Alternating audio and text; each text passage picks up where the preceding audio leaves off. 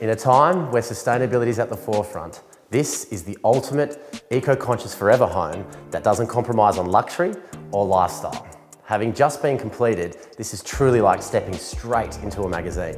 Hi, I'm Tyson Barry from Davey Real Estate and welcome to 52A Parkinson Place, Hillarys. Downstairs, you have a home office, laundry and double lock-up garage.